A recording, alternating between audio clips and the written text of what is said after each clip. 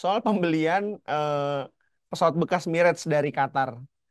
Eh, dan menurut Ganjar itu perencanaan eh, al- apa alokasi anggaran segala macam itu top down Hmm. gitu. Jadi tidak berdasarkan bottom up gitu. Sehingga prajurit di bawah hanya menerima saja. Dan itu dianggap sangat gegabah. Nah, apakah benar seperti itu, Mas Wafa? Monggo. Buat saya em, ada indikasinya mungkin kalau da- dari dari pengamat mungkin ada. Iya. Karena memang yang saya dengar em, apa ya perencanaannya kita kurang tahu pertama ya karena Hmm. kurang kurang transparan dalam eh, mungkin sudah dibahas tadi bahwa kita nggak nggak nggak pernah publis belum pernah Hmm. publis lagi sejak Hmm. 2015 buku putih kan. Iya. Jadi sebetulnya yang kita miliki, yang pilot-pilot itu miliki sama kita nggak tahu Hmm. gitu loh. Kita sama-sama nggak tahu eh, pembeliannya berdasarkan visi seperti apa gitu Iya. loh. Pembeliannya berdasarkan kesadaran akan ancaman yang mana, Iya. ya kan? Em, beli eh, Pra- Prabowo bilang tadi em, sambil menunggu kurang lebih ya, sambil Hmm. menunggu eh, setelah tiga tahun, tiga Hmm. tahun baru dapat, tujuh tahun Hmm. kemudian baru operasional sambil Iya. menunggu, ya kan? Kalau yang baru sambil menunggu, nah ini- tapi apa kenapa yang ini bukan yang lain misalnya? Hmm. Dan kapasitas dan eh, kapabilitas militer kan bukan cuma pesawat, Iya. Hmm. ya kan?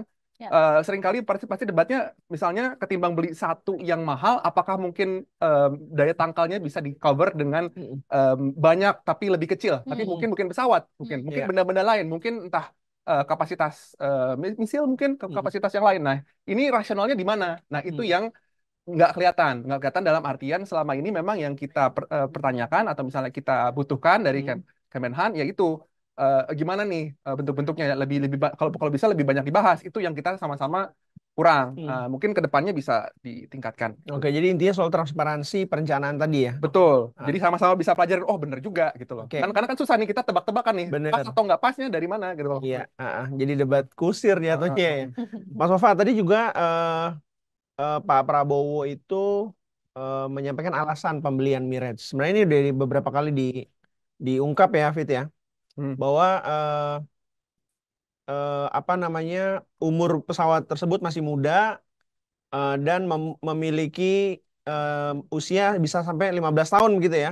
Eh, dan eh, kerjanya cukup ringan gitu di Qatar.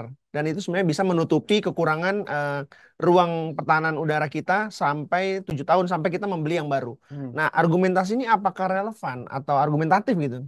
Em, ada sisi argumentatifnya. Karena semua teknologi yang baru yang paling mutakhir misalnya kalau misalnya hangat juga kan misalnya misal- kapal selam Oke. bertenaga nuklir macam-macam lah di dunia ini. Yang baru dan mutakhir itu perlu waktu.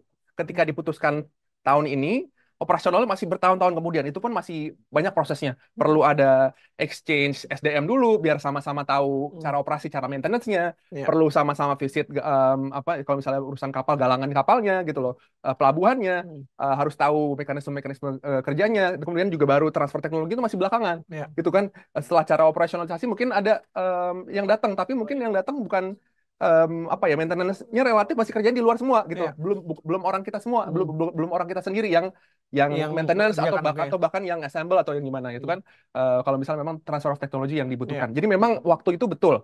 Waktu itu uh, secara operasional memang itu betul dan Hmm. tentu Pak Prabowo yang paling tahu karena beliau yang menghadapi Mengurus itu ya. Betul. Nah, tapi masalahnya adalah, oke, selain dari itu, penjelasannya apa yang tadi saya bilang, kenapa yang ini, kenapa nggak yang lain? Itu penjelasannya kita nggak nggak terlalu tahu, gitu Hmm. loh.